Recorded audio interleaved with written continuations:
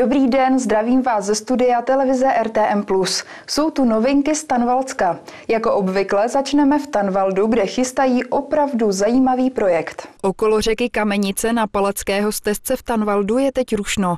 Nedaleko obchodní zóny se totiž nachází historický válečný kryt, který vznikl v období druhé světové války. Město ho chce nově přiblížit veřejnosti. V dobách válečných ty naše průmyslové objekty eh, chtěly být eh, chráněni, respektive svoje zaměstnance mít chráněni proti možnostem válečného nějakého nebezpečí, takže stavili tyhle podzemní kryty. Tady máme jeden ze tří nebo čtyřech podzemních krytů, tento jeden chceme oživit, chceme zde dělat komentované prohlídky, chceme udělat takovou celou historii právě té válečné výroby tady na Tanvalsku. Než se tak ale stane, je potřeba kryt i jeho bezprostřední okolí upravit. Je to taková, já tomu říkám, archeologická práce, protože celé to bylo zborcené díky zubu času a díky nějakým činnostem tady okolo, ale chlapi to poctivě vyndali všechny kameny si vlastně až na jeden našli, ten jeden udělali nový a celá klenba se mohla zase opravit. Takže jsem z toho úplně nadšený a je to další střípek do té naší mozaiky, tady těch naučných cezek a toho vzpomínání na tu historii. Do krytu chce město umístit ještě několik informačních tabulí.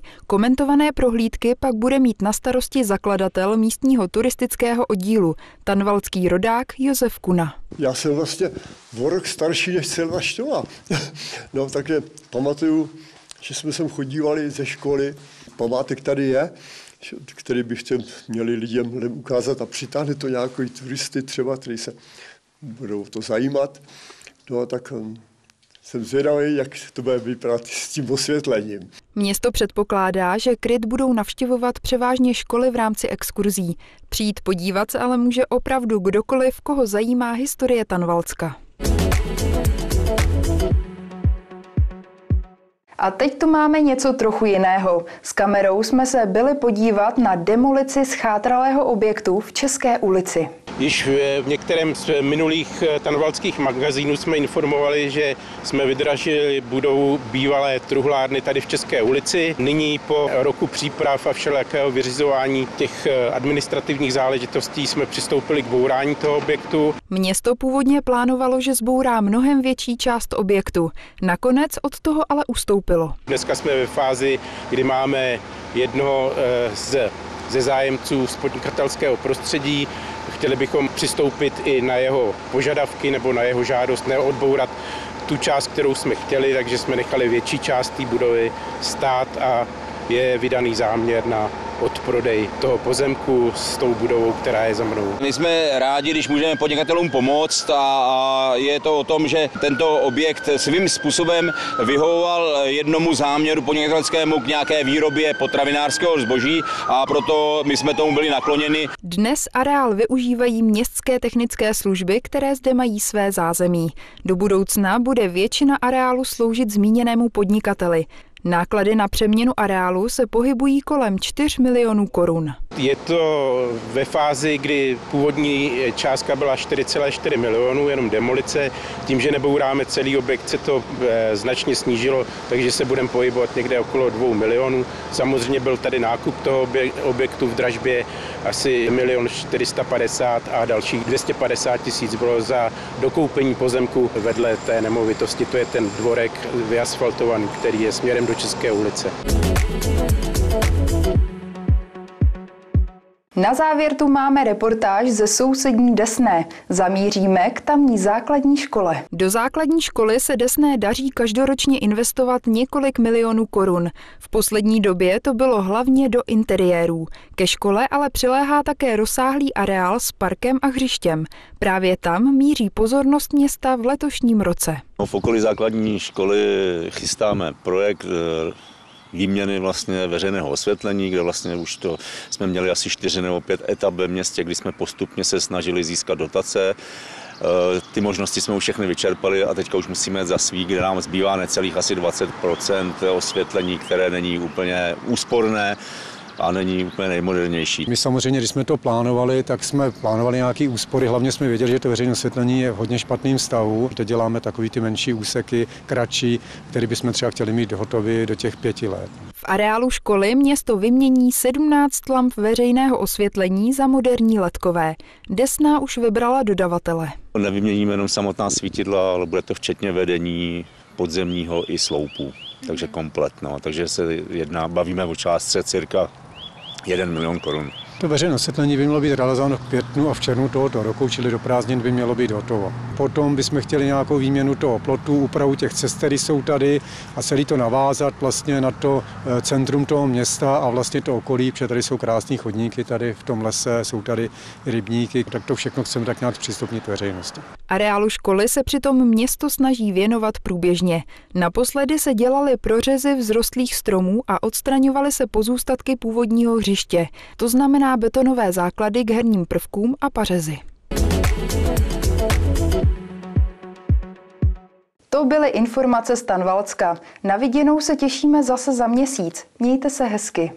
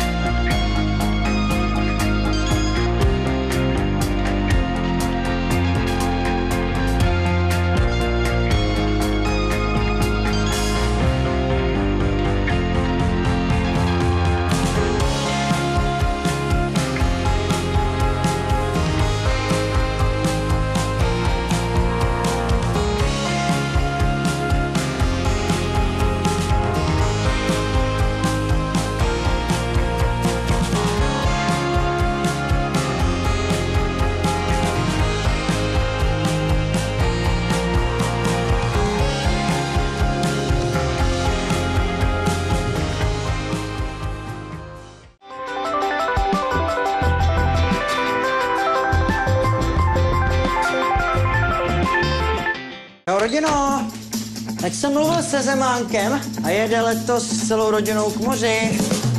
Hele, obrovský bazén s tobogánem, plavání, šnorchlování, potápění. Kalamáry, chobotnice, krevety. Zařídil jsem pokoják.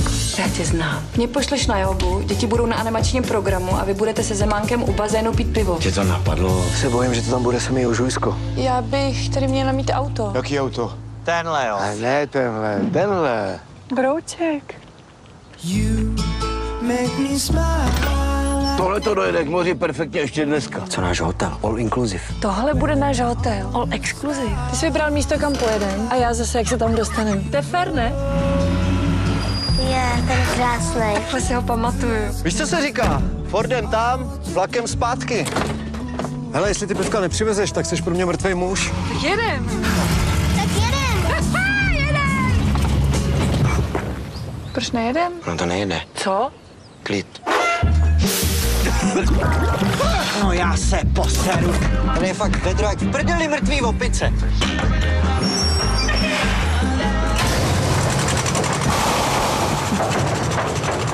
Za jak dlouho tam budem? No ještě to chvilku potrvá.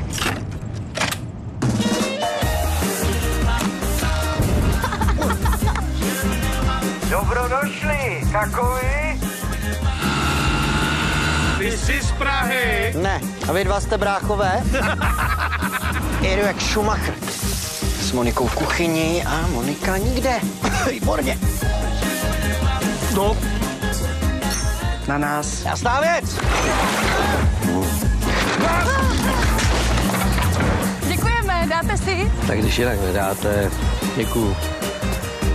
Starosto Pražák má zase problém.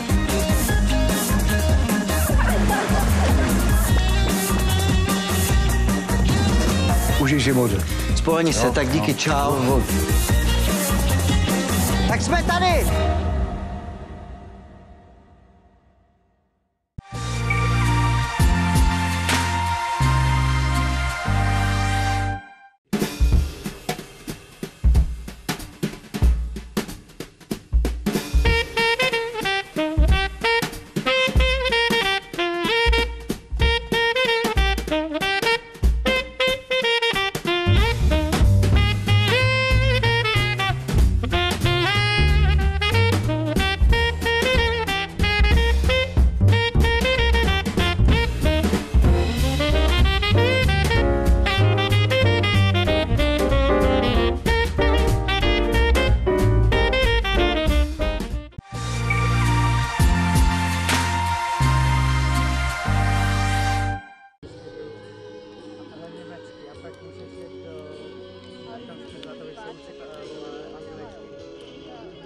Desné se na veřejnosti zapalují hranice s čarodějnicemi na čtyřech místech. My si je v naší reportáži ukážeme všechny. Vždy za přípravou stojí nadšenci z řad dobrovolných hasičů v jednotlivých částech našeho města. Já vás vítám v Desný 3 na Čarodejnicích. Eh, stavíme tuhle tu hranici už, nevím, možná 15 let.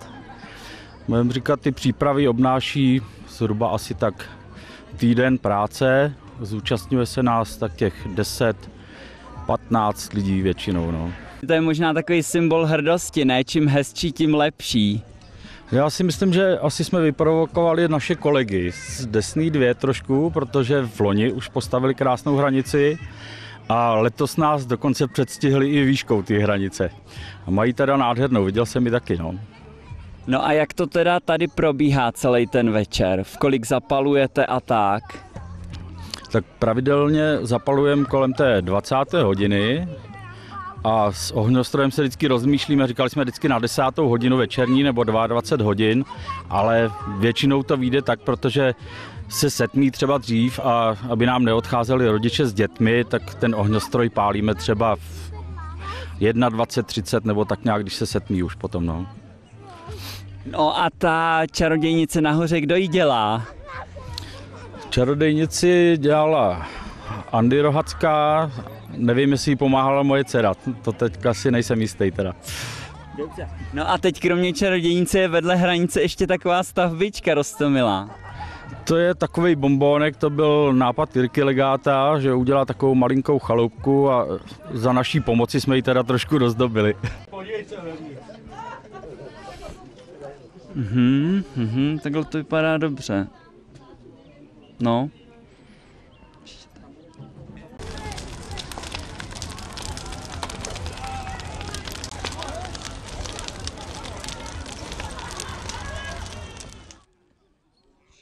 Jsme přijeli na Pustiny, poprvé, ještě jsem tady na pálení čaroděj nic nebyl, tak řekněte, jak to tady vlastně máte, jak to celý pořádáte a kdo to dělá. No, starostka tak. samozřejmě. No, tak samozřejmě všichni to děláme. Nejdřív to začíná brigádou samozřejmě, no a pak se tady takhle sejdeme.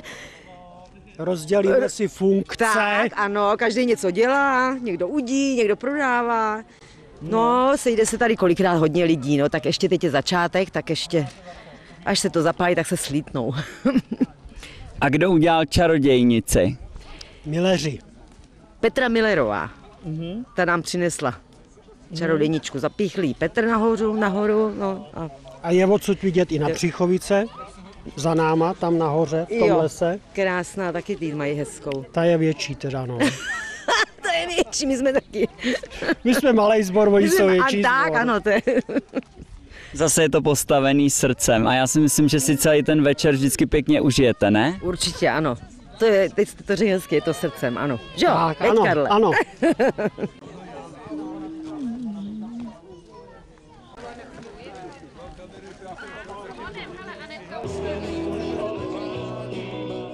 Hasiči z Desné 2 staví svoji hranici už tradičně za kinem v Desné.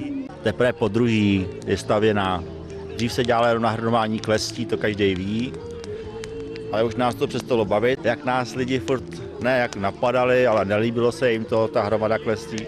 To jsme si řekli v loni, že zkusíme něco nového, ale teďka už vlastně druhý rok stavíme novou hranici. No, příští rok zase připravujeme nějaký další překvapení, prej, co jsem slyšel. Příští rok bude asi jiná. No a teď ta hranice zatím teda je asi největší a nejhezčí, ne, bych řekl. No, máme i větší než Destiny 3. V kolik to teda asi zapálíte a kdo dělal čarodějnici, mě zajímá. Podle plánu to máme zapálit do 20.00 a čarodějnici dělala naše paní pokladní. Jak dlouho jste to stavěli a kolik tak chlapů na to makalo? No, minulý, minulý víkend nebo sobotu jsme dělali dříví v lese, nahoře nad Černou říčkou, tam nás bylo asi 20 No a včera jsme stavěli a dneska od rána a tady nás bylo teďka takových 25 lidí. A to je vlastně výsledek.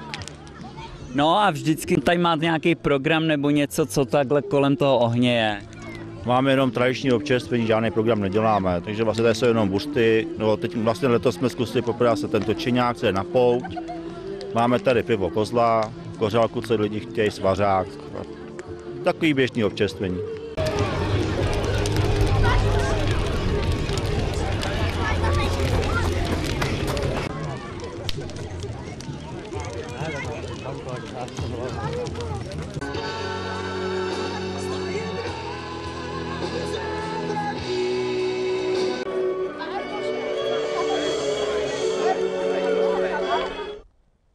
Tak eh, jsme se přemístili eh, na Černou říčku, respektive k Níčovým domkům a tady pálí hasiči z Černé říčky, je to tak?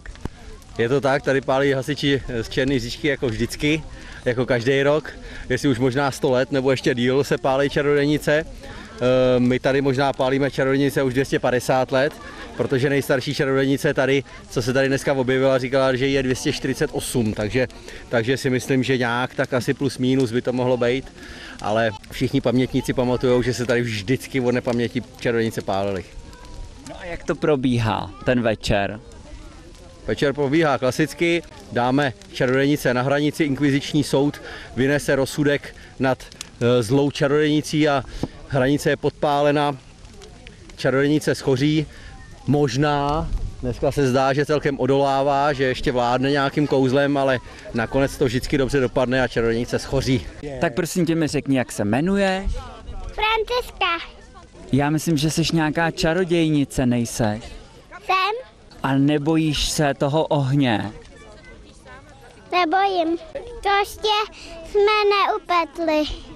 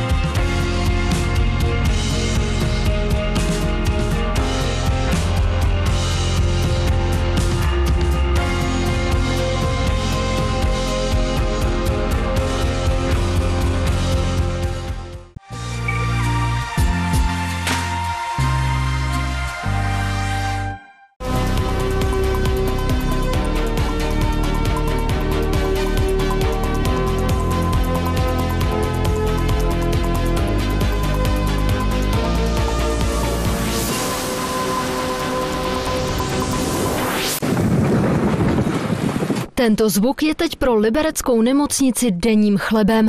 Někdy je slyšet dvakrát i třikrát. Před chvíli jsme viděli ve stavební jámě na objektu SO01, to je objekt budoucího CUMu, provedený odstřel. Byl to odstřel malého rozsahu, kdy stávající hornina, kterou nelze těžit, se provede navrtáním zhruba 30 až 40 takzvaných otvorů. Posléze do toho se vloží nálož a řízeným způsobem přes střelmistra se provede řízený odstřel. Trhavinou už bylo doposud rozpojeno skoro pět kubíků skály. Co se týče horniny, té už stavbaři vytěžili přes 40 tisíc kubíků.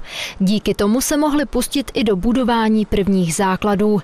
Ze dvou třetin je hotová základová deska pro budoucí parkovací dům a energocentrum. Je hotová převážná část přeložek inženýrských sítí, je hotová část stavební jámy pro budoucí centrum urgentní medicíny a pracuje se se na výkopu pro energokanál. V průběhu prací se objevily komplikace spojené s kanalizací. Byla totiž v havarijním stavu, který musela SVSK odstranit. Nyní už k žádným větším problémům podle vedoucího projektu nedochází. Jsou to standardní problémy technické, které se řeší na stavbě denně. S určitými odchylkami práce pokračují přibližně podle harmonogramu. Zásadní odchylka tam v tuhle chvíli není. Dvě nové budovy, parkovací dům pro 330 aut s novým energetickým centrem pro celý areál nemocnice a 120 metrů dlouhý šestipatrový nemocniční pavilon s operačními sály, laboratořemi i lůžkovou částí by tak měly být dokončeny ve druhé polovině roku 2026. Kateřina Třmínková, televize RTM+.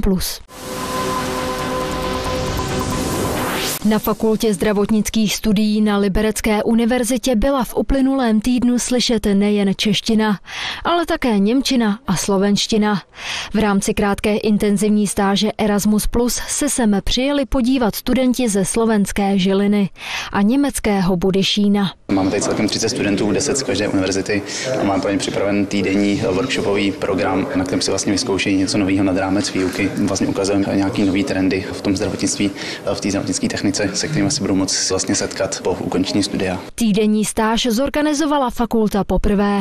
Tématem byly asistivní technologie v medicíně. Vytvořili jsme si program k analýze pohybu našich rukou, takže když hýbu rukou, servomotor se také pohne. Myslím si, že tato stáž je pro nás, zahraniční studenty, velmi přínosná. Naučíme se něco nového a potkáme nové lidi. Přijde mi, že v Čechách máte výuku více prakticky zaměřenou. U nás v Německu se praktické věci učíme až přímo ve firmách. Ve škole se zabýváme hlavně teorií. I pro nás to je spoustu nových věcí, které se tady učíme právě eh, od našich lektorů. Pokud každý den máme trošku jiný program, učíme se nové věci a společně většinou jsme právě namíchaní, abychom mi trošku otužovali vztahy. Liberecká univerzita byla s výsledkem stáže spokojená a doufá, že se bude s tímto projektem pokračovat. Pokud ano, konaly by se další workshopy v Německu nebo na Slovensku.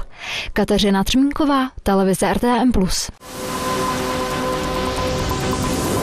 Bloom Together je projekt Združení Tulipán, který se soustředí na zlepšování kvality duševního zdraví u mladých a dospívajících lidí. Právě na ty zaměřil své dotazníkové šetření. Jeho výsledky jsou prý poměrně znepokojivé. V roce 2022 nám v podstatě vyšlo, že necelých 10% mladistvých nemá vůbec chudí k životu, což jsme brali tak jako do toho dotazníku nám může každý odpovědět, kdo chce, co chce.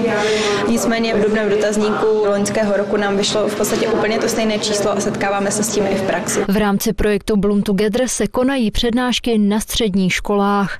Lektoři se tu velmi často setkávají s tím, že se jim poté dva až tři studenti skrze sociální sítě svěří, že už někdy uvažovali o sebevraždě nebo se o ně dokonce pokusili.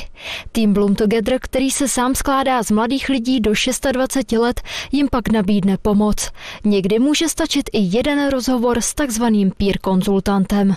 Já sama teda žiju s uh, diagnózou, sama jsem si prošla nějakými traumatickými událostmi. To je ta moje motivace pro to, co teďka dělám. Díky tomu, co jsem se sama prožila, tak dokážou ve mně najít ty ostatní mladiství, nebo já v nich to větší pochopení, větší důvěru, neodsoudím je a cítí se vlastně v blízkosti mě, řekla bych, v bezpečí. Psychické obtíže mladistvých podle terapeutek většinou vychází z rodinného zázemí, kdy se rodiče dětem málo věnují. Na vině je ale také dlouhodobý stres a pandemie COVID-19, kvůli které byli studenti dva roky izolovaní. Pokud se mladiství potýkají s jakýmikoliv psychickými problémy, mohou se na koordinátorky projektu Bloom Together kdykoliv obrátit. Ty jim pak co nejrychleji zajistí pomoc. Kateřina Třmínková, televize RTM+.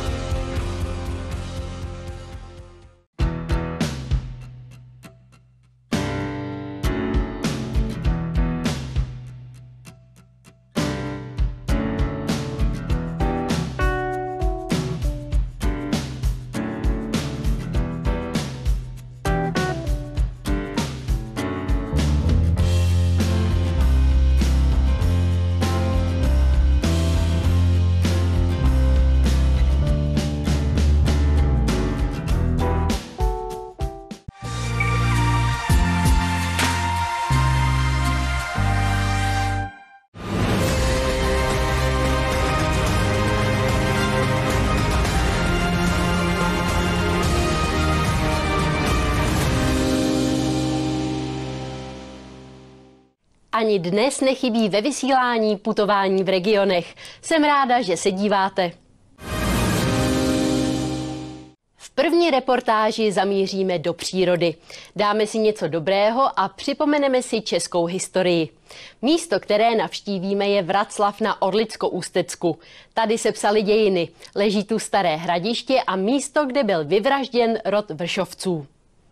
Ve Vraclavi na Orlicko-Ústecku mezi Vysokým mítem a Hrochovým týncem vyvěrá léčivý pramen.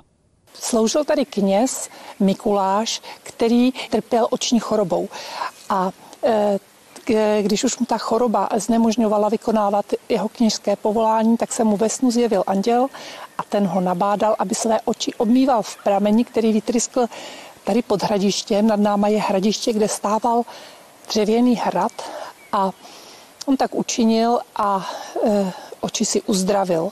A jako poděkování nechal vystavět malou kapličku, kterou zasvětil svatému Mikuláši. A potom se tak jakoby na tuto událost zapomnělo s tím, že asi za 70 let se měla historie zopakovat. Vysokomícký měšťan, nožíř Jan Nečesaný, jak zase praví kronika, trpěl nesnesitelnými bolestmi údů a když už zoufal a nevěděl, co má činit, opět se mu ve snu zjevil anděl a ten ho nabádal, aby své údy obmýval v prameni, který už právě tryskal v té kapličky On tak učinil a opět se uzdravil. Zázrak svého uzdravení si ale nenechal pro sebe a v dobách největší slávy vraclavského pramene sem chodili proudy lidí, celé procesy, a to nejen z Čech, Moravy a Slezska, ale i Polska. A uzdravených neustále přibývalo a tak jsem začala proudit celá procesí. A lidé nechtěli zůstat nic dlužní a tak se složili na stavbu kostela, který dnes stojí jen kousek od původní kapličky. V něm najdeme třeba barokní sochy. Jde o polychromované pašiové sochy z křížové cesty v nadživotní velikosti. Jejich autor je neznámý, ale zřejmě šlo o žáka sochaře Matyáše Bernarda Brauna. Pramen z Vraclavy v okrese Ústí nad Orlicí prý není jen legendou, potvrzují to i odborníci. Je známý široko daleko. Vyvěrá v základech barokního kostela svatého Mikuláše je tady za mnou. K němu se tady nedostanete, ale načepovat si ho můžete jen kousek dál, u silnice. A tak si pojďme nabrat. Pramen vyvěrá 365 dní v roce a je k dispozici non-stop ve dne v noci. I my jsme ho vyzkoušeli, ale pozor, je hodně studený. Voda má jen 8 stupňů Celzia. Tak eh, na zdraví. Podle kronik zdejší pramen léčí například oči Voda z něj se pije, ale kdysi se v ní lidé prý i koupali. Jde o takzvaný artéský pramen. Artéská voda je podzemní voda, která bývá zpravidla uložená ve velkých hloubkách. Velmi zjednodušeně si to můžeme představit jako tak, že v podzemí v hloubkách od přibližně 50 třeba i do několik set metrů se v určitých oblastech nachází obrovské podzemní kapsy plné vody. Voda potom vyvěrá v prameni a načepovat si ji můžeme v takzvané stírce. Vedle kostela potom stojí i Fráterka. Jde o místní název pro poustevnu, kde žil poustevník, který se o léčivý pramen staral a celé to zázračné tajemno umocnil ještě sběrem léčivých bylin. Přitom všem ještě vedl knihu uzdravených. Řekla bych třeba taková jednu zajímavost, eh, že tady eh, ve fráterce je kouzelný zvon, kdo si na něj zazvoní do roka a do dne se vdá nebo ožení. Eh, na vlastní kůži jsem to vyzkoušela. A budova u silnice, tak to jsou lázně. Vzhledem k tomu, že to je arteský pramen, který jde z hloubky 100 metrů, eh, tak má asi 8 stupňů, tak přece jenom to asi nebylo tak úplně příjemné koupat se eh, v ledové vodě, tak eh, tady vznikly lázně. Nejdřív měli jeden, jeden, jeden kotel, ale pak se to jako by rozšiřovalo a potom to tady bylo asi ty lázně o 18 pokojích. Dnes v nich sídlí regionální muzeum Vysoké míto. Často se tu konají například výstavy obrazů. Ale tím náš výlet rozhodně ještě nekončí.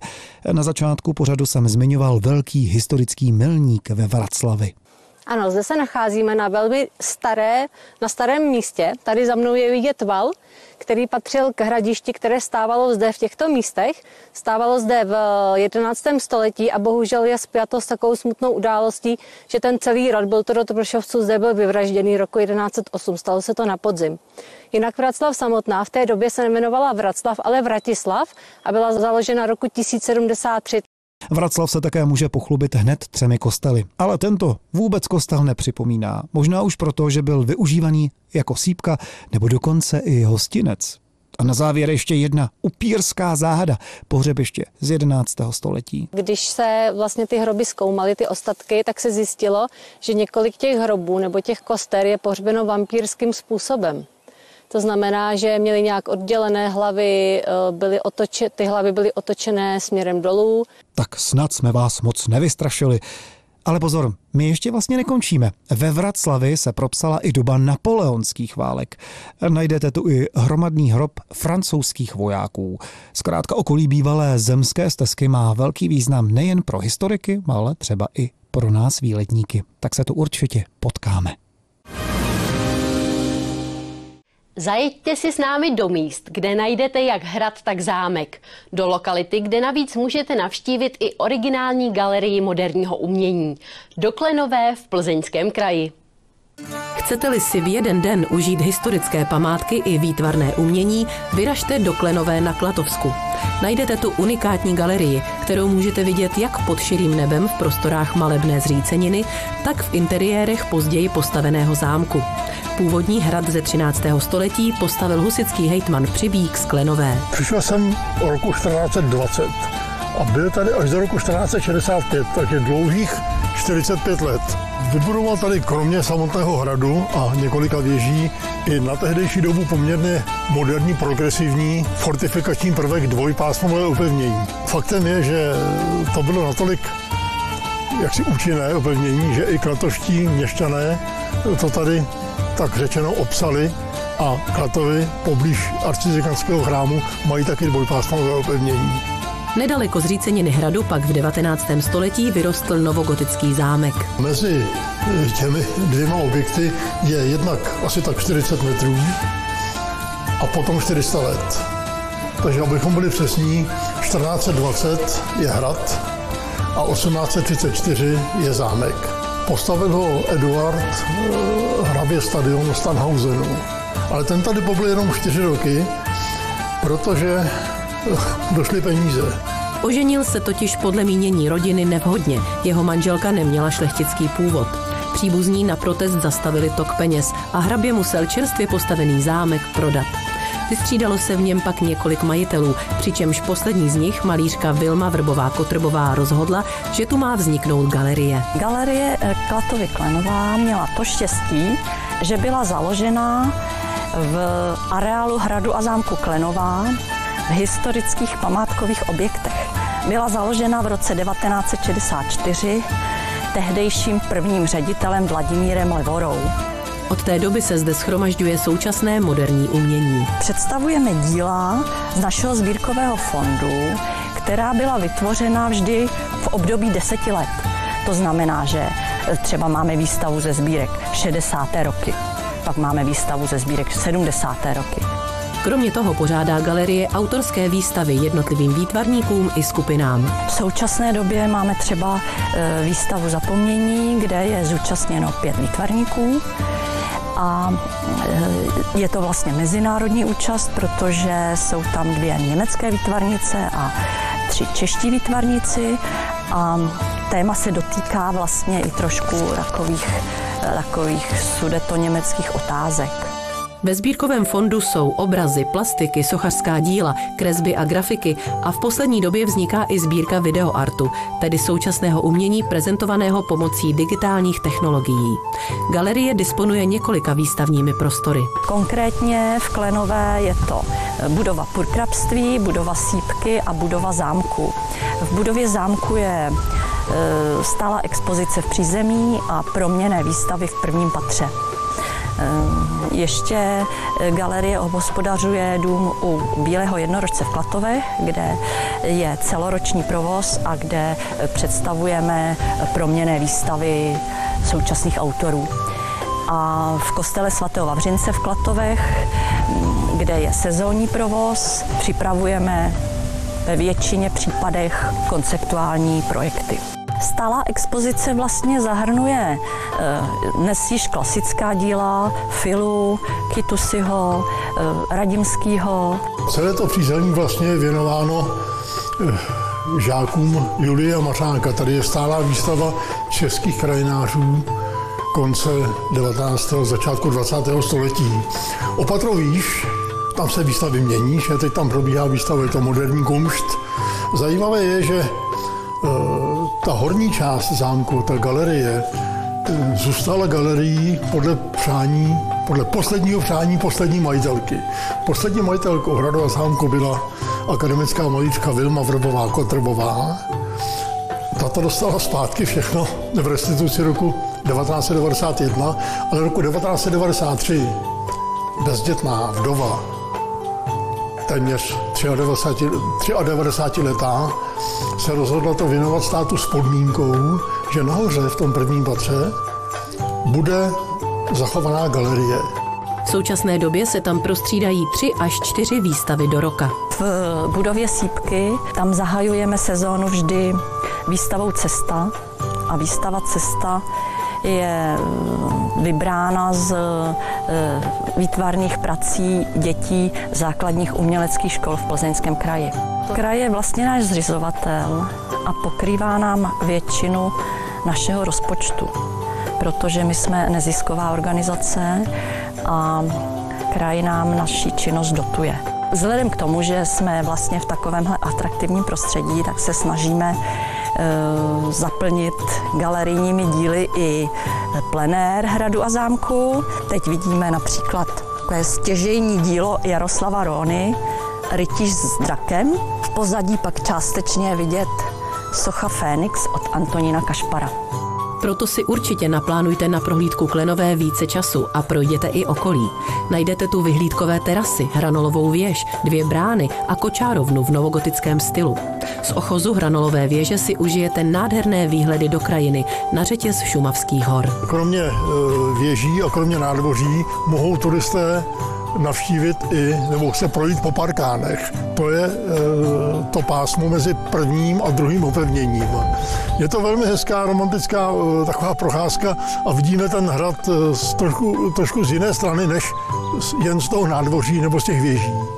Takže doporučujeme obejít hrad po parkánech a pokud někdo najde chvilku času a odvahy, tak je možno obejít celý hrad po vnější straně příkopu. A to je zvlášť romantický pohled. V samotném zámku pak stojí za zhlédnutí mnoho exponátů, například unikátní přístroj od Josefa Kauba z Domažlic. Od pravníka toho pana Kauba jsem se dozvěděl, že jeho pradědeček měl jakousi dílnu na zemědělské stovy, ale asi byl muzikant, protože před jeho dobou a už roku 1890 vydal první CD. Tady máme k tomu dokonce diskotéku celou a toto CD od pana Joseta Kaupa z roku 1890 už těch 130 let pořád hraje, čím se nesou doslyší od vašich CDček. Poslouchejte, jak hraje dobře a refanešně.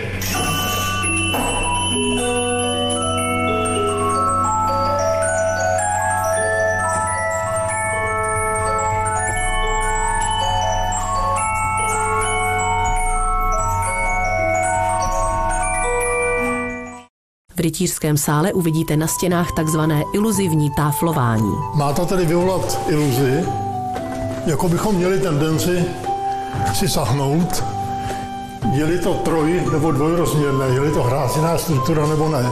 Takže iluzivní táflování akademický malíř Josef navrátil. Svatební sál vznikl v místech původní knihovny. Dokonce jsme se dozvěděli, že ta knihovna měla čítat snad 8 tisíc vasků. V současné době je přestěhovaná do zámku Kozel, nebo přesně řečeno její torzo. A velká vzácnost, tady jsou ta zelená kachlová kamna, e, jsou zhruba o 200 let starší než ta bílá, která jsme viděli v předchozích sálech. Je to norimberská práce, jeden z prvních výrobků velkoformátových kachlů. Takže veliká vzácnost 1631 Norimberg. Jeden sál je věnován poslední majitelce zámku, která nejraději portrétovala děti. Tady nakonec ten chlapec v pruhovaném doposud bydlí tady přímo na Klenové pod, pod zámkem. Je na zajímavé to, že to byl ředitel pekáren, ale v poněkud dospělejším věku. Ne, když mu bylo deset. V budově podkrabství, které vybudovali Harantové z Pošic a Bezdružic po roce 1553 a od něhož držím v ruce klíče, se nachází i kaple. Eduard hrabě stadion Stanhausenu eh, tu kapli nechal vybudovat a pověřil vybudováním nebo postavením oltáře německého oltářního mistra Erharta.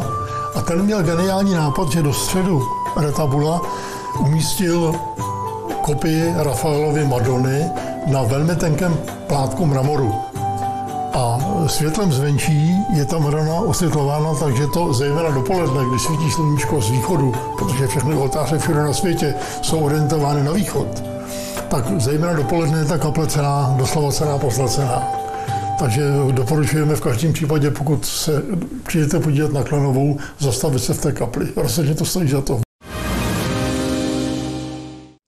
Staroměstská radnice v Praze byla postavena v roce 1338 a původně sloužila jako sídlo samozprávy Starého města. Budova vznikala postupně od 14. století pomalým vykupováním jednotlivých měšťanských domů, které pak byly spojovány do jednoho celku. Dnes se skládá z pěti historických domů, které nesou prvky skoro všech slohů.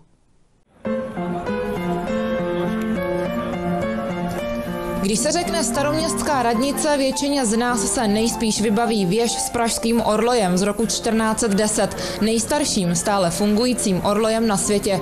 No, my jsme tentokrát tenhle pražský skvost vynechali a rozhodli jsme se vám ukázat, co všechno je vlastně uvnitř a že to rozhodně není málo. Ona je totiž tahle radnice vůbec tou nejstarší na českém území.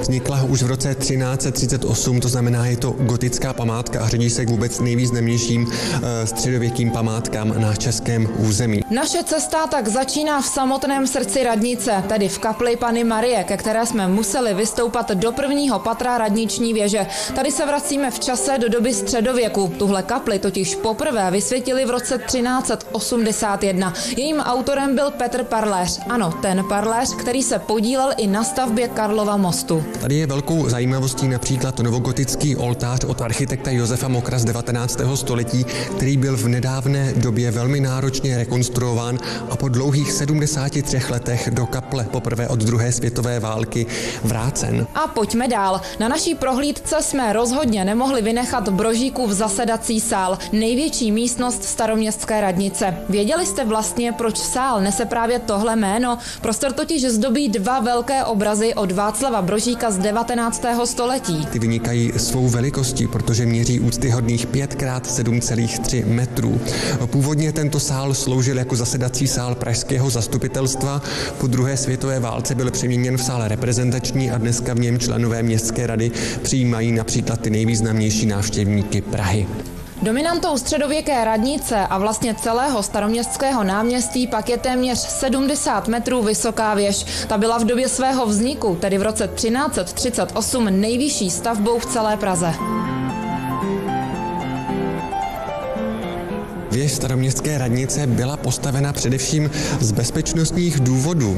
V jejím vrcholu totiž sloužili hlásní, jejíž úkolem bylo sledovat okolí starého města Pražského a v případě, že se blížilo nějaké vnější nebezpečí, to znamená někde vypuknul například požár, tak úkolem hlásného bylo dát informaci o tomto nebezpečí představitelům města, kteří zajišťovali potřebná bezpečnostní opatření. Na vrchol věže je možné vystoupat pěšky nebo si cestu usnadnit proskleným výtahem. Zajímavost Skutečností pak je, že radniční věž je jako jediná ze všech středověkých pražských věží zcela bezbariérová. Věž jde zkrátka s dobou a to i potom všem, co zažila. Jaké by to ale asi bylo, kdyby její zdi mohly vyprávět? Věž staroměstské radnice byla samozřejmě svědkem veškerých událostí, které se v okolí a tedy hlavně v centru města odehrály. Touhleto událostí byly například korunovační průvody, které kráčely právě kolem staroměstské radnice.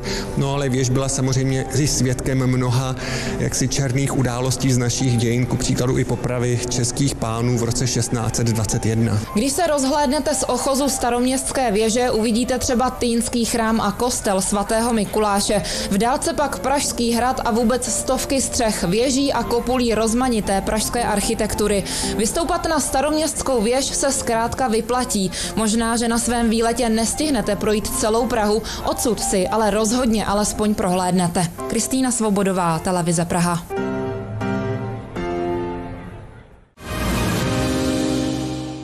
A to je pro dnešek všechno. Už za týden tu ale budou další zajímavé reportáže, tak se nezapomeňte dívat.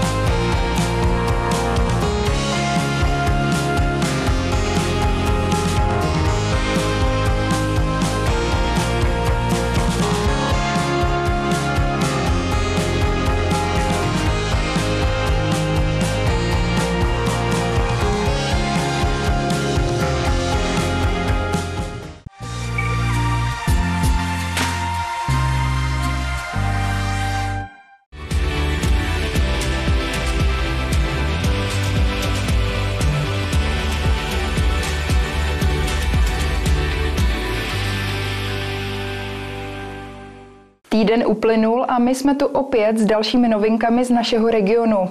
Dneska to bude skutečně pestré. Navštívíme botanickou zahradu, projedeme se vlakem do Českého ráje a na závěr se budeme věnovat novému krajskému webu. Přeji příjemnou podívanou. Zoologickou a botanickou zahradu v Liberci převzal Liberecký kraj do svého vlastnictví před dvěma lety s tím, že je bude rozvíjet. V první zmiňované organizaci už jsou první investice patrné. Ať už jde o nové moderní bistro s venkovním posazením nebo expozici pro papoušky Nestorkea. Sousední botanická zahrada ale nezůstává pozadu. V tuto chvíli jdeme cestou toho, co, co můžeme udělat relativně rychle. A to je, že potřebujeme postupně přepláštit skleníky. Ten makrolon, který na těch sklenících je také dožilý a už vlastně neslouží. Po těch 25 letech zhruba, kdy ten skleník je v provozu, tak eh, narážíme na to, že eh, střechou v některých místech zakapává polikarbonátové opláštění, které je na bocích, tak eh, na něm je vidět, že vlastně dochází k degradaci, protože některé desky byly namontované a obráceně to znamená, že ty žluté desky jsou špatně namontované. A objevila se i další vada. Opláštění je zarostlé mechem, takže jim hůře prostupuje světlo. Liberecký kraj proto začne skleníky postupně obnovovat. Jako první přijde na řadu objekt za administrativní budovou. Návštěvník ho vlastně může zaregistrovat, když půjde na návštěvu do pavilonu L velkých leknínů. Tento skleník vlastně chceme rekonstruovat jako první, protože z celého toho komplexu je to nejmenší skleník. Svojí plochou má 250 metrů čtverečných a vlastně na tomto skleníku se nějakým způsobem budeme trošku učit, jak to všechno udělat. Budeme na to dávat přes 2 miliony korun. Eh, musí se samozřejmě udělat veřejná zakázka na to přepláštění a do toho se musíme pustit v sezóně, kdy ty rostliny to přežijí. Z tohoto důvodu je rekonstrukce zatím naplánovaná na letošní léto. Protože tady jsou rostliny jak teplomilné, tak pak tady jsou rostliny temperované, které snášejí chladnější podmínky, tak vlastně ty rostliny budeme přestěhovávat do zázemí, do těch dalších skleníků, kde na nějaké dva, tři měsíce prostě vydrží a ve chvíli, kdy bude skleník opravený, tak by se zase vraceli potom zpátky na svoje místo. Po dobu prací budou muset do dočasného zázemí orchideje téměř celá sbírka masožravých rostlin, část sukulentů a také kapradiny.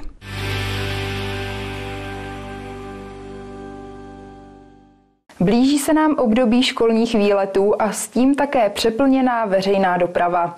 Liberecký kraj proto přichází s řešením. Ten hlavní směr, kterým eh, jezdí eh, školy, je do Českého ráje směrem na Turnov.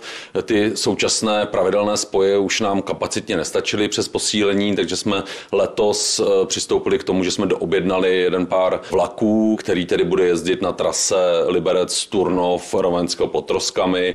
Spojení z Liberce do Českého ráje bude posíleno od 13. května do 27. června. Mezi 8. a půl devátou eh, budou jezdit tři vlaky. První vlak eh, míří do Železného Brodu, druhý vlak eh, je pro ty školní výlety směrem do Rovenska pod Troskami a třetí vlak je na Malou skálu. Přestože kraj posílí vlakové spojení, koordinátor veřejné dopravy v Libereckém kraji, společnost Korit LK, školám doporučuje, aby si přepravu na školní výlety zamluvili dopředu. V několika denním přestihu kontaktují dopravce a my jsme schopni ještě k těm klasickým vlakům přidat případně další vůz. Jakmile začnou letní prázdniny, vrátí se oblíbený vlak Mácháček, který bude jezdit o víkendech a ve státní svátky až do konce srpna.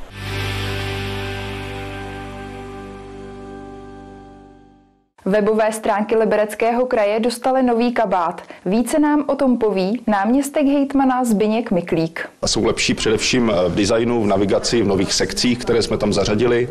Máme tam například eh, takový rozcestník životních situací, kdy potřebuje vlastně uživatel najít nějaký třeba konkrétní formulář nebo životní situaci, tak se postupně proklikává tím tématem až k tomu konkrétnímu formuláři například. Nový design a nové navigační prvky nejsou jediné, čím se může krajský web pochlubit. Ocení je také neslyšící. Máme tam takovou pomůcku pro neslyšící, vlastně tlumočení do znakové řeči, anebo přepis psaného textu, to znamená, když neslyšící tuto službu chce využít a chce komunikovat například s úředníkem, vyřešit nějakou situaci, tak v podstatě využije takového živého tlumočníka, který vlastně eh, ty jeho dotazy nebo i ty odpovědi vlastně tlumočí do znakové řeči anebo přepisuje do psaného textu. Na nových webových stránkách odvedl odbor IT kus práce. Jejich tvorba mu zabrala asi 1,5 roku.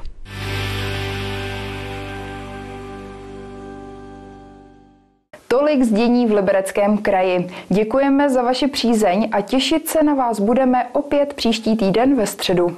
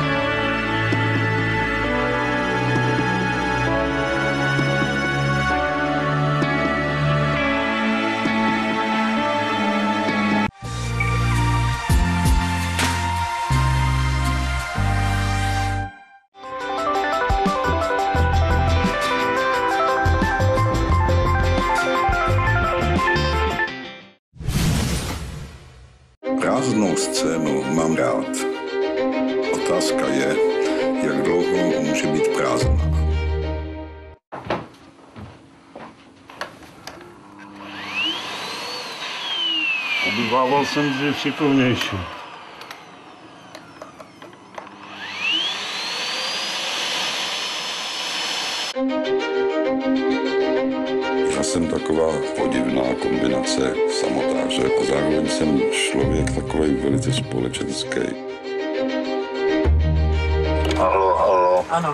Jsem slyšet, jsem slyšet. Zase musíte ale mluvit nahlas. Křičet můžu i bez toho, bez amplionu. Je málo lidí, kteří byli posledním prezidentem jednoho státu, prvním prezidentem jiného státu, v 75 letech filmovým debutantem a ono to může vyvolávat i odpor. Snad uvidíme opět věrtele básnických extazí. Těch vě- věrtelů je na vás dneska přichystáno dost. Věc, ale druhá věc je, že člověk musí vždy znovu artikulovat jakési ideály, artikulovat jakési hodnoty, prosazovat je, bojovat o ně. Na starý kolena prostě jsem si dal na úplně nový povolání.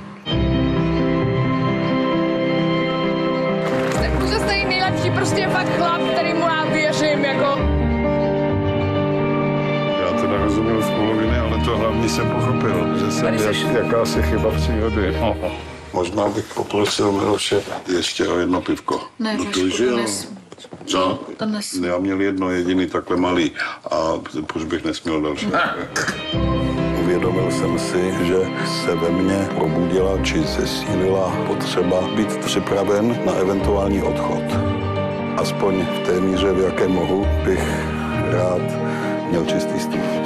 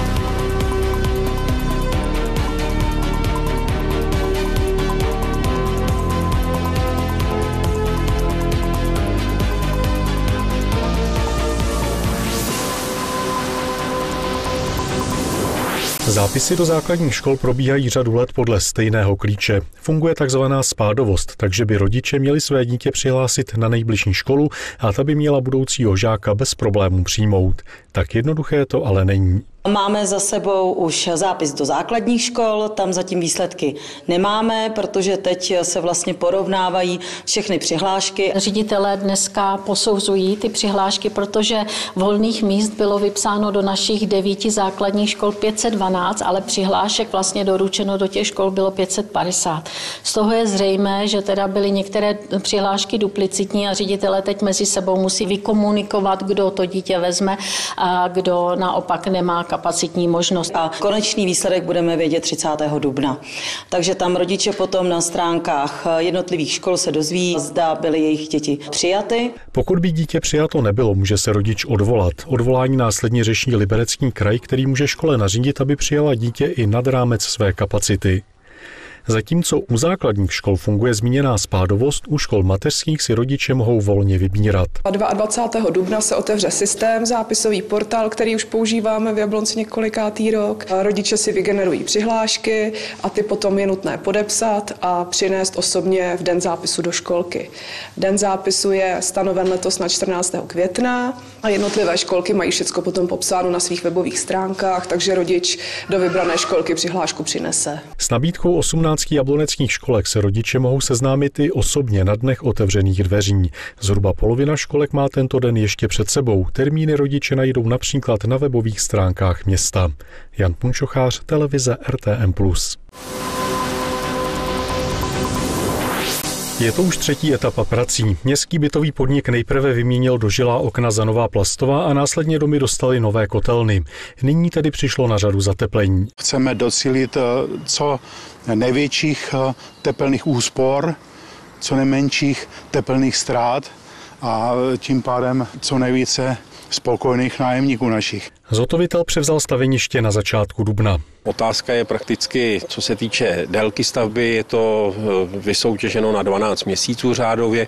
Možná je předpoklad, že by to mohlo být do toho do konce kalendářního roku, ale myslíme si, že se to trošku protáhne tak jako vždycky. Bude nově zatepleno 14 až 16 cm zateplovacím systémem, taktéž se poopraví nahoře střecha, výtahová šachta celá a současně ještě bude doplněno v podstatě protipožární zařízení uvnitř v domě. Po dobu oprav musí obyvatelé domu počítat s určitým omezením. Důvodem je, že součástí prací bude také oprava balkónů. Bude zákaz vstupu na, na balkóny. Je pravdou, že ten barák bude nějakým způsobem obestaven zábradlím, takže bezpečnost tam určitá bude, ale z té hlediska bezpečnosti po tu dobu bude jakoby snaha o to, aby lidé na balkony nevstupovali z hlediska nějakého možného úrazu. Kromě toho musí lidé počítat s horším parkováním. Kvůli lešení totiž přijdou asi o pět parkovacích míst. Celá stavební akce vyjde zhruba na 22 milionů korun. Jan Punčochář, televize RTM+. Teplotám dlouhodobě se pohybujícím pod bodem mrazu už je snad konec. Pro pelikány z Liberecké zoo proto nastal čas opustit své zimoviště. Letos to bylo takový e, trošku jiný, než my jsme zvyklí, protože většinou těsně po převozu na zimoviště pelikáni začnou hnízdit. To se teda stalo i letos. Nicméně my jsme do skupiny dodali x dalších jedinců z dalších zoologických zahrad, tak aby jsme oživili krev, takže tam probíhalo v podstatě ustanovení nějakých vnitřních pravidel té kolonie, takže za mě to dopadlo perfektně. V předešlých letech bývalo zvykem, že pelikáni přivedli na svět až pět mláďat. Letos se ale žádné nenarodilo narodilo. Proběhlo tam nějaký hnízdění, bohužel ty vejce byly z naprostý většiny neoplozený letos, ale myslím si, že jsme na dobré cestě do budoucích let, že zase budeme pelikány odchovávat. Na jezeru je nyní k vidění 14 pelikánů. Zůstanou tu celé léto. Na podzim pak ornitologové většinu z nich odchytají a umístí do zimoviště.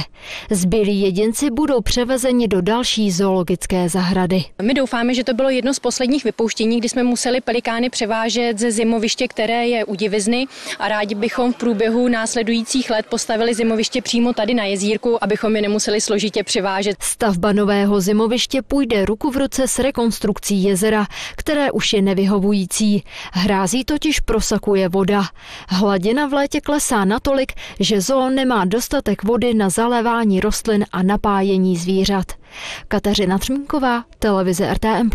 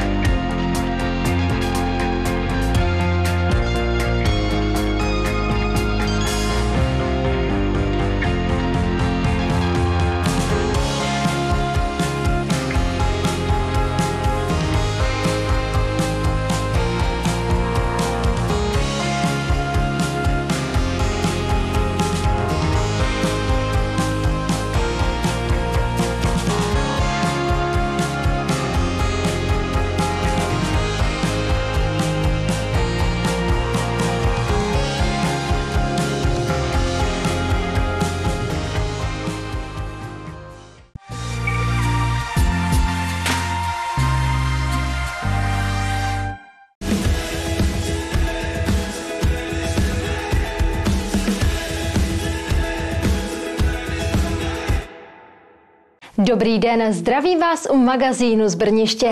Byli jste se už podívat ve zrenovovaném infocentru? Je skutečně moc hezké a my ho navštívíme ve druhé části pořadu. Nejprve ale zamíříme do ulic, kde se budeme věnovat výměně veřejného osvětlení. O výměně veřejného osvětlení v Brništi jsme vás v minulosti informovali několikrát. Teď už se s ní konečně začalo.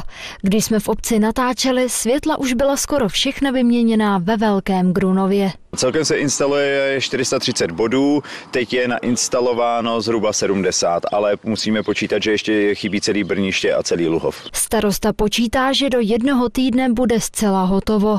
S novými světly přijde řada výhod. Asi výhodou tady toho je, že se to opravdu dává hodně častěji, hodně frekvenčně, eh, takže bude i více světla, bude lépe vidět a bude to i úspornější podstatně. Počítáme tam úsporu ve spotřebě elektrické energie ve výši asi 40% nákladů. Za veřejné osvětlení Brniště doposud ročně dávalo 1,5 až 2 miliony korun. A to podle toho, jak se pohybovala cena elektrické energie. Ušetřené peníze chce nyní investovat do rozvoje obce. Projektu je mraky, teď třeba řešíme hřiště za školou v Brništi, takže třeba to nebo na hřiště do materské školy. Eh, uvidíme. V projektu výměny veřejného osvětlení obec nejvíce těší úspora energie. U občanů je to ale hlavně o komfortu a pocitu bezpečí, které jim nová světla poskytují. Staré osvětlení vlastně svítilo méně, protože ty LED světla jsou samozřejmě lepší v tom, že svítějí víc a člověk se cítí i jakoby bezpečnější, protože ty původní byly i více jakoby rozbitné, že kolikrát se stalo, že ani nesvítilo nebo se prostě častěji rozbíjelo a z důvodu bezpečnosti, že když lidi dělají na tři směny a potom po noční jde člověk domů, tak je opravdu líp vidět. Za výměnu veškerého osvětlení v obci a jejich okrajových částech Brniště zaplatilo skoro 6 milionů korun. Necelou polovinu nákladů uhradila dotace z Ministerstva průmyslu a obchodu.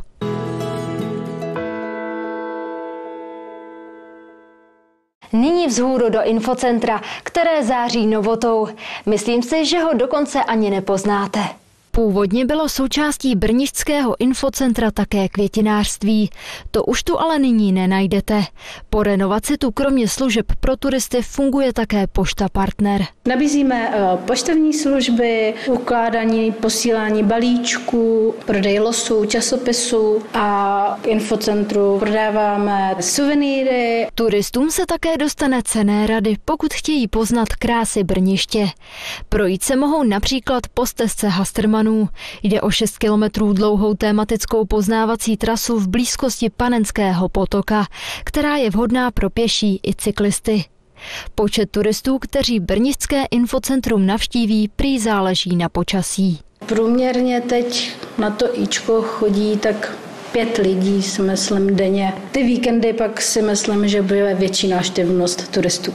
Brnišské infocentrum a Pošta Partner má otevřeno každý všední den od 8 hodin. V sobotu otevírá až v 10 a v neděli je zavřeno. Centrum pro turisty bude v budoucnu propojené s obecní knihovnou. Nyní tam probíhá rekonstrukce. Nábytek už je zadan, prostory jsou zrekonstruovány, nyní čekáme na dodání nového nábytku a pak přestěhujeme knihy a začne to fungovat. K tomu by mělo dojít v létě. Podle starosty bude knihovna spíše sloužit jako komunitní centrum pro seniory. Ty seniori buď to můžou přijít, přečíst si tu knížku už tady, nebo si ji odníst domů, posedět si se sousedy, se známými z obce a prostě, aby se tady začali potkávat ty lidi. Knihovna nabídne asi 6 až 8 míst k sezení a také celou řadu nových knih. Za stavební úpravy a také nový nábytek v infocentru a knihovně dá obec skoro 2 miliony korun.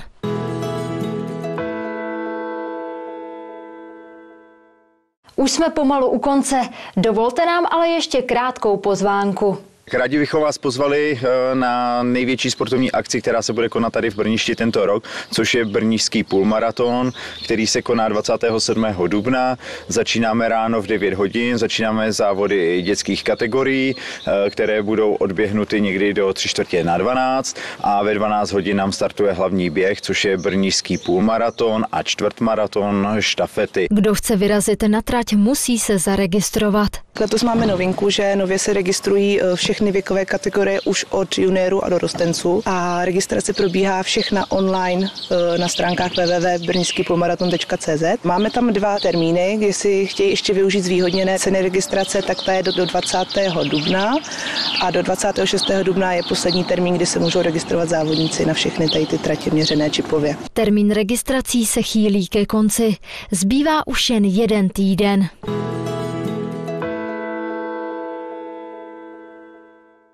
Na brnický půlmaraton vás srdečně zveme i my.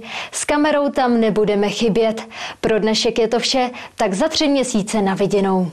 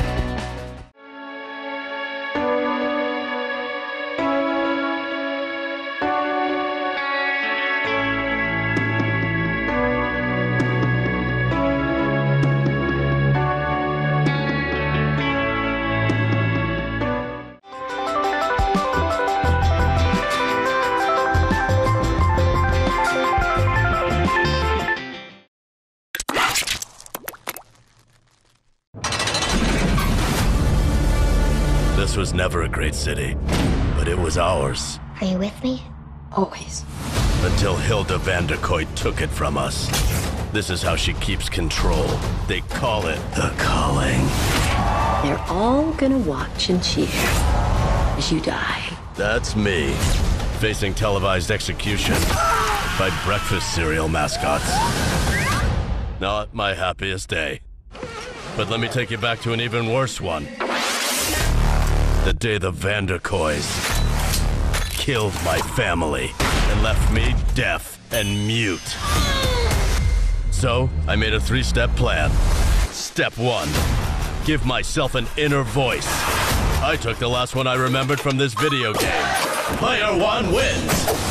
Step two get stronger. A lot stronger. And step three join a team. Welcome to the Resistance. Yeah, go, go team. The mission is simple. Make the Vanderkoys pay for what they have done. Insert crazy action montage. You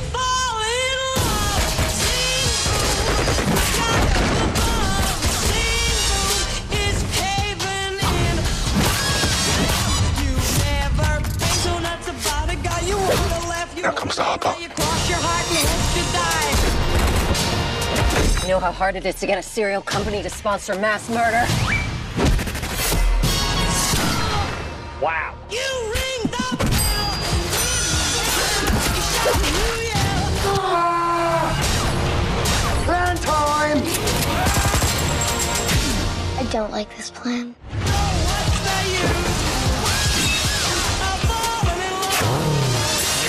You have reached your final destination. Oh my god, no! I have information. I'm gonna help you. Stop! Probably wasn't going to help us. Definitely sounded like he was going to help us.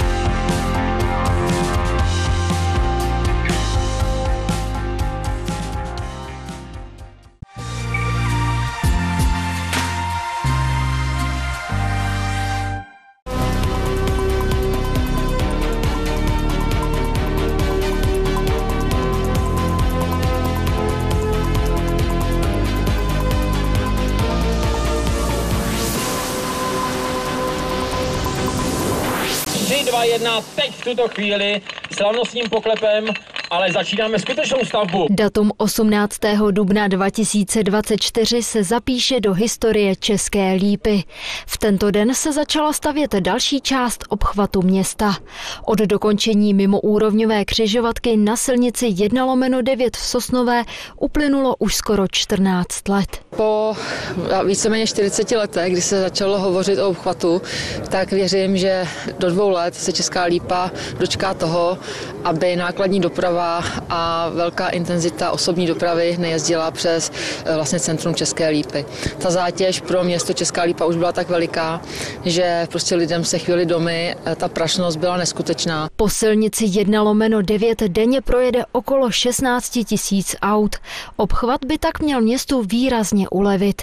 Jedná se o úsek poměrně krátký, 1,5 km, ale zároveň je potřeba zmínit, že de facto 500 metrů, to znamená třetina trasy na estakádě, navazuje na de facto už hotový úsek, Muká Sosnova, tuto chvíli vlastně pokračujeme dál od eh, Dubice na Dolní Lipchavu, de facto v té západní části České Lípy, napojím se na silnici 2 třídy 262. Na úsek z Dubice do Dolní Lipchavy v budoucnu ještě naváže třetí část obchvatu, která bude směřovat do Nového Boru. Poslední etapa je nyní ve fázi územního řízení. Já bych si přál, aby se nečekalo, navíc se podařilo celou řadu e, zákonů upravit tak, aby e, stavby v té přípravě běžely opravdu výrazně rychleji. Je na ředitelství silnic a dálnic na projektantech, aby se pokusili najít co nejšetrnější řešení pro ten průchod krajinou. Ředitelství silnic a dálnic očekává, že poslední část obchvatu České lípy bude minimálně dvojnásobně dražší než druhá etapa. Stát by měla přes miliardu. Realizace se odhaduje na rok 2000 2027. Kateřina Třmínková, televize RTM+. Dron vzlétl a začíná sledovat pětici osob, které na území České republiky zřejmě nemají co dělat.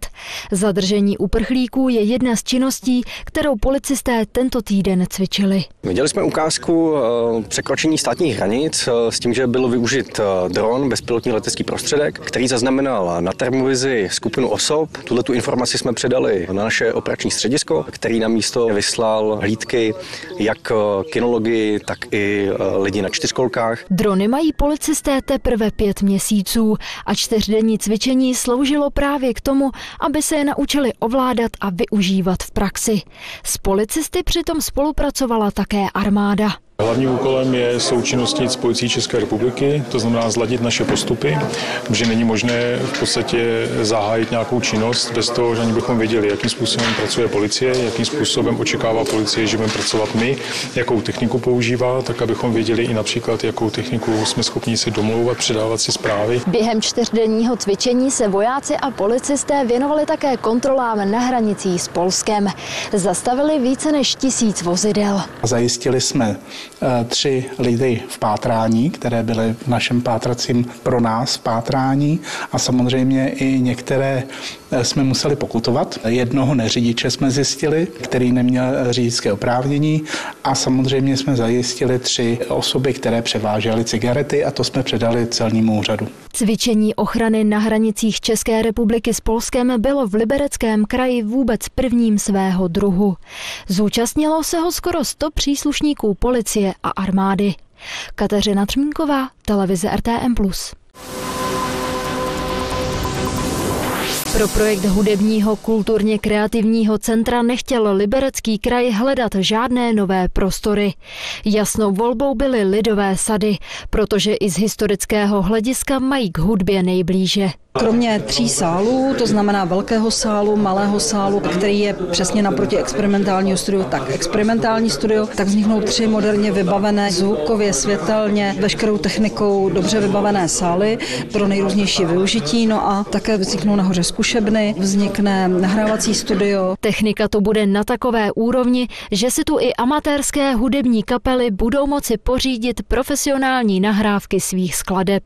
Zároveň odsud bude možné dělat sledovat i živá vysílání. Stavba by měla začít v květnu. Rekonstrukce lidových sadů se nám podařilo vlastně vysoutěžit za 174 milionů korun, včetně DPH. Je to velká úspora, to úspora 53 milionů korun oproti tomu předpokladu. Takže já z toho mám radost. Samozřejmě měli jsme i velké množství nabídek, sedm nabídek, no a dokončeno by mělo být eh, někdy v srpnu roku 2026. Poptávka po kulturně kreativním centru je podle náměstkyně hejtmana veliká, a to nejen ze strany organizátorů koncertů, ale i třeba Liberecké základní umělecké školy. Umělecká škola v Liberci není vůbec schopná pokrýt eh, poptávku. Mimochodem má převis ročně zhruba 400 dětí, čili to také bude potřeba řešit a lidové sady to ale kompenzují samozřejmě jenom z nějaké míry. Lidové sady už se v současné době připravují na rekonstrukci a tak se tu žádné kulturní akce nekonají.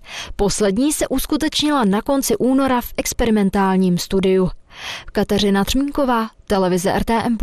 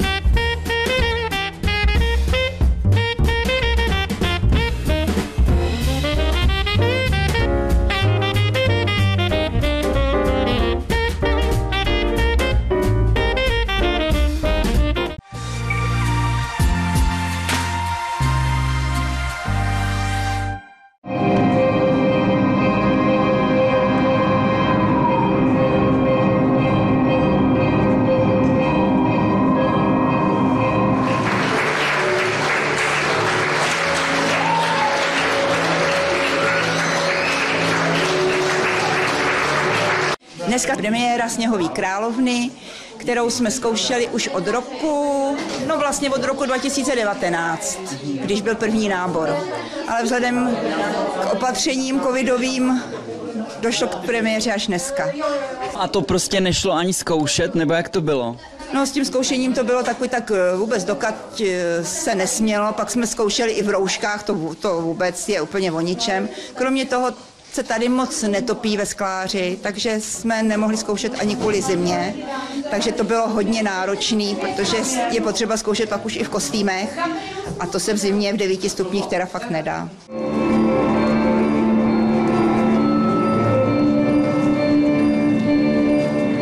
Proč zrovna tuhle hru? No, popravdě řečeno, hledala jsem něco, kde bych uplatnila hodně holčiček, protože ku podivu do divadla se hrnou, nebo ani se nehrnou, ani ty holky už teďka ne, ale kluci vůbec ne a pánové o tom ani nemluvím. Takže Musela jsem vycházet z toho, koho mám k dispozici, no a tak nějak z toho vyšlo, že ta sněhová královna by se dala. Hru jste upravovali. Hru jsme upravovali hodně a hodně a hodně. Vlastně vycházela jsem jenom jako na motivy tyhle ty pohádky, protože nechtěla jsem, aby byla nějaká depresivní, Chtěla jsem, aby odcházely děti, sice trošičku, aby jim to hlodalo v tom mozečku, že teda něco někde by mohlo být, ale aby se nebáli. Třeba by to šlo slepit. Není vaše práce. Vy teď se vypozbírejte a odneste sněhové královny. Za mě je to dobrá hra a i baví mě to hrát. Já si myslím, že pro děti je to dobrý. Já tu hru přímo miluju. Nej- ze začátku to nebylo nic moc, ale teď je to špička. Moje role byl ďábel a loupežník. Ďábla jsem si teda užil a loupežníka taky. Bylo to perfektní. Jaký byl ten dnešek, jak to dopadlo? Bylo to úžasný, fantastický, užili jsme si to. Musíme poděkovat paní režisérce, že s náma měla takovou trpělivost a bylo to perfektní. Já si myslím, že se nám to dneska povedlo. No, byly trochu nervy, ale vydařilo se to perfektně.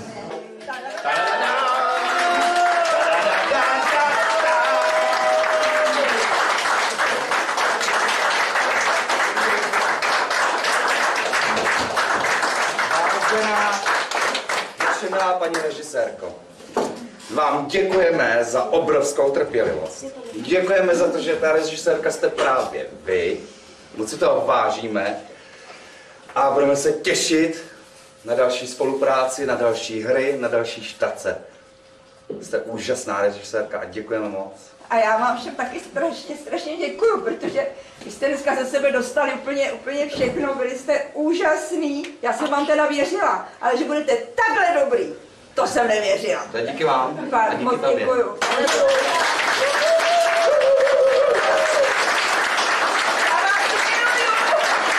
A co říkáš na tu vaši partu? Je to skvělá parta, můžeme se na ní spolehnout. eh, Prostě nám to jde. Sešli jsme se tak, aby to fungovalo a funguje to. Jsme dobrá parta, všichni si rozumíme a mám ráda ten kolektiv velmi. Má ještě spoustu kouzelných střepů. Stačí jen volit. Ta hra se kvůli pandemii rodila v bolestech, je to pravda? Premiéra měla být původně před dvěmi lety a cvičili jsme to dlouho. Konkrétně to mělo být v lednu eh, roku 2020. Začali jsme to zhruba září eh, loňsk, eh, toho předešlého roku, takže dlouho. A pokud si dobře pamatuju, tak my jsme se potkali na slavnostech města. Tam jste měli připravenou takovou akcičku pro děti. Tam byl někdo jiný jako Sněhová královna. Ano, to byla uh, naše kolegyně, která s námi teda už bohužel nehraje. Původně ji zkoušela jedna holčina, která vlastně byla tak zaneprázdněná, protože dělala zároveň ještě i atletiku a Nakonec jsme zjistili, že jí to časově prostě nevychází, takže režisérka přišla za mnou, oslovila mě a já jsem v podstatě v polovině zkoušení hry naskočila, jakože budu hrát Sněhovou královna, už mi zůstala. No a jak ti to jde? Jak mi to jde? Jde mi to dobře. Zla, eh, královna je zlá, panovačná, no skoro celá já. Vy máte výhodu, že se navzájem znáte v souboru velmi dobře, že jo? Už z let minulých. Ano, my se všichni známe, já vlastně s režisérkou Vlaďkou už dělám několikátou pohádku, děláme i e, divadlo pro dospělí, takže v podstatě skoro všechny moje spoluhráče znám moc dobře. Myslím, že i díky kratšímu času je ta hra vhodná pro celou rodinu. Určitě. E, Trošku s tím máme problém, měla jsem strach, jestli to není hodně krátký, ale i dneska jsem se přesvědčila, že je to tak akorát, protože tím, že přijdou i malí děti, tak e, těch 40 minut, 45 minut, podle toho, jak se zadaří, tak to si myslím, že vydržejí v pohodě. No a co jsi říká na dnešek, na atmosféru a na diváka? Že to strašně rychle uteklo a mám z toho strašně dobrý pocit, že přišli diváci, že bylo plno a já jsem momentálně v euforii, takže super. No dnešek byl úžasný. Dnešek byl úžasný, konec jsem pomalu neviděla, protože jsem samozřejmě bolela, že jo. Co jsi říkal na diváka? Eh, Diváci skvělí, diváci skvělí, moc jim děkuju, protože bez diváků by to nešlo. Teďka záleží na tom, jaký budou diváci na dalších reprízách, protože co si budeme povídat na premiéře, jsou naši přívrženci. Ale ty další reprízy teprve ukážou, co ta pohádka umí a já doufám, že to bude jenom pozitivní. První reprízu máme 7. června v Harachově a 19. června v Městském divadle Jablonec. Na to jsme strašně hrdí, teda, že tam hrajem.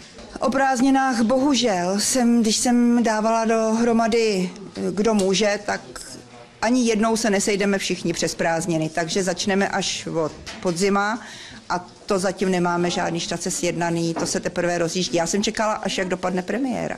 Peníze žádné nemá.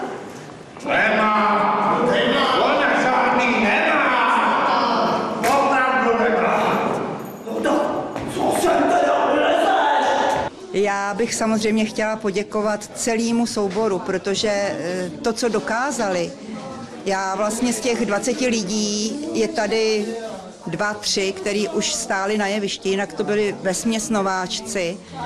A myslím si, že dokázali skoro nemožný. Já jim strašně děkuju a byla jsem dojatá nejen tou pohádkou, ale tím, jak to dokázali.